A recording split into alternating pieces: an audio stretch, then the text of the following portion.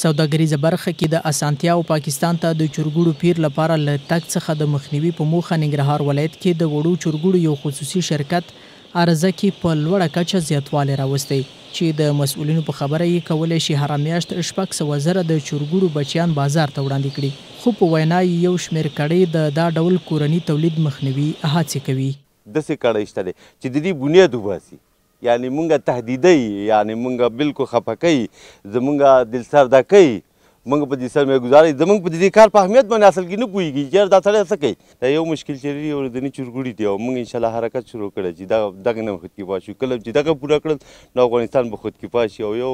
د خود کفایي به وجود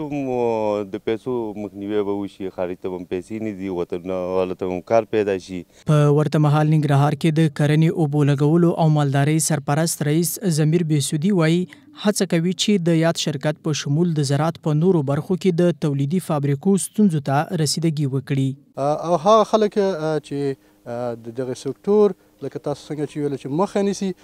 نه لا هم تر اوسه داسې اشخاص موږ ته نه دي په ګوته شوي، که چیرې دغسې اشخاص سره موږ مخ شو هغوی سره به کینو د دغه مشکل او دغه ستونزې د حل لپاره به ورته یو ښه لاره وګورو او دا مشکل به